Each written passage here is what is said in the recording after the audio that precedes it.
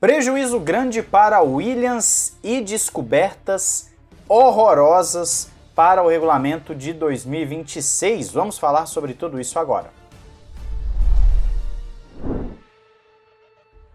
Olá, amigo do Ressaca Fórmula 1, seja bem-vindo a mais um vídeo. Eu sou Matheus Pucci. Vamos às principais notícias. Se você não tem acompanhado os últimos vídeos aqui, respondemos já a pergunta dos membros, várias perguntas bem interessantes.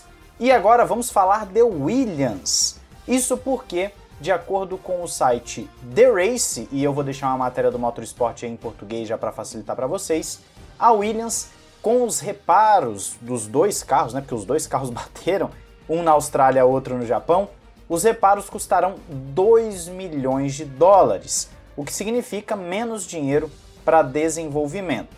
Cheguei a comentar com vocês aqui recentemente que as equipes já têm uma quantia X que eles designam só para isso ao longo da temporada, e claro que na quarta etapa você já ter que gastar 2 milhões de dólares para reparar os seus carros não é nada bom.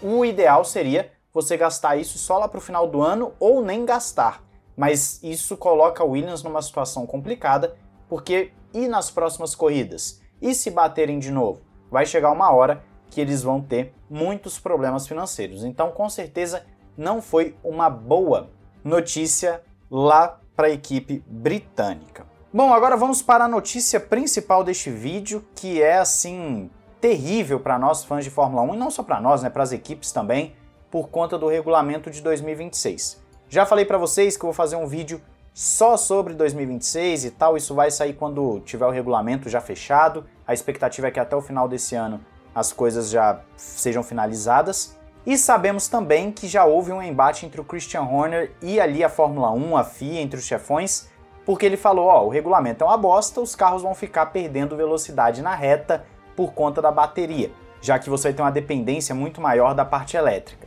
Só que não para por aí. Agora, de acordo com a matéria que você também confere na descrição, já vou deixar também aí em português para vocês, parece que a Fórmula 1 achou um belo de um problema com uma das principais equipes. Não é citada qual equipe é essa, só fala que é um dos principais modelos. Claro que isso ainda no simulador, os carros não foram para a pista, o regulamento não está fechado, mas no simulador alguns problemas seríssimos apareceram. Quais seriam esses problemas? nós sabemos que tem a tal da aerodinâmica ativa, que vai ser uma forma de você estar tá gerando mais pressão aerodinâmica nas curvas para ter mais estabilidade e deixar o carro com menos arrasto nas retas, para também ganhar mais velocidade nas retas. Num primeiro momento, a Fórmula 1 gostaria que essa aerodinâmica ativa fosse apenas na asa traseira, então a asa traseira se adaptaria de acordo com a necessidade e você ainda teria o DRS também para ajudar nas retas.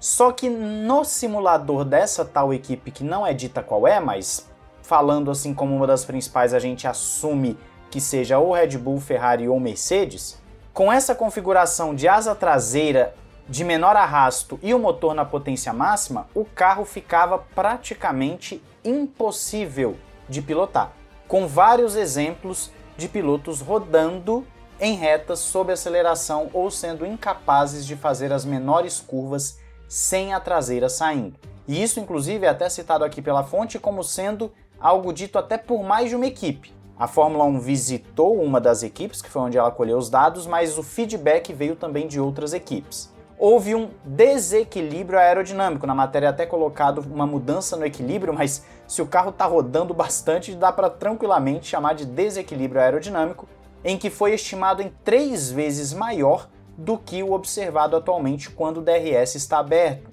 Para você que não sabe, quando o DRS está aberto, se o piloto tenta fazer uma curva, ele tem uma chance enorme de rodar, porque ele perde justamente essa pressão aerodinâmica. Ele não vai ter tanta estabilidade para fazer uma curva, então ele não consegue fazer a curva na mesma velocidade que ele faria com o DRS fechado, por exemplo. Por isso que o DRS é feito para automaticamente fechar quando toca no freio. E aí o que foi sugerido pela tal fonte que é citada é que não somente a asa traseira tenha esse recurso da aerodinâmica ativa, como também a asa dianteira para você reequilibrar o carro. Porque senão, a única forma de evitar que os carros fiquem patinando e rodando seria guiar o carro de uma forma tão conservadora que os tempos de volta ficariam mais lentos do que a Fórmula 2 atual. o que seria um desastre total para a Fórmula 1. Já fiz um vídeo aqui no canal falando sobre quando a Fórmula 2 foi mais rápida que a Fórmula 1. Dá uma olhada, você acha rapidinho aqui no canal esse vídeo. Foi vergonhoso. Então você pode ter um repeteco disso se alterações não forem feitas. Então as mudanças de acordo com os técnicos da FIA passarão também pela asa dianteira. Então o regulamento não está fechado, essa alteração será incorporada ao regulamento para então a aprovação das equipes, o que provavelmente vai acontecer. E aí eu volto para o Christian Horner.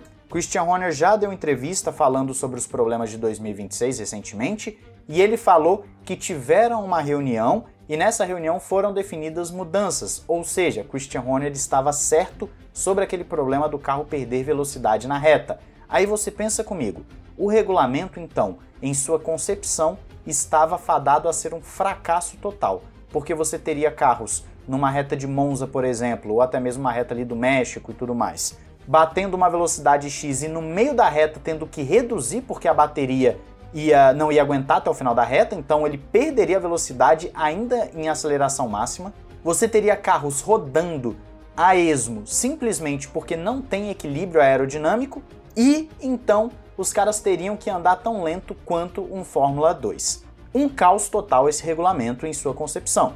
Pelo visto, já foram feitas alterações por conta da bateria que o Christian Horner reclamou, né? Entrou em embate ali com a FIA. A FIA falou: não, não é isso, mas depois fizeram uma reunião e, pelo visto, vão mudar algumas questões das baterias. E agora estão vendo também esses problemas. É claro que ótimo que estão resolvendo esse problema agora, porque é melhor se resolver agora quando o regulamento nem foi fechado do que depois, quando fizeram, por exemplo, a cagada da DT39 em 2022. Mas o próprio Horner também fala: agora é uma questão de esperar o fechamento das regras de chassi, porque isso é que vai ser fundamental para o restante do regulamento. E é justamente o que está aí faltando para o encerramento em junho, mais ou menos, desse regulamento. Então vamos esperar para ver, as notícias são péssimas, mas ao mesmo tempo, se conseguirem resolver esses problemas, nós temos também um certo alívio, porque sabemos então que em 2026 as coisas virão melhores. Mas eu quero saber a sua opinião aí nos comentários sobre esse assunto. Que, que você está achando dessa concepção do regulamento 2026 até agora? Comente, se inscreva, não esqueça de ativar o sininho para não perder nada e também entrar na Paddock BR com as melhores camisetas, novos modelos para vocês aí de Fórmula 1. Comprem, não deixem de comprar e adquirir com o cupom RESACAF1 que você tem desconto e frete grátis.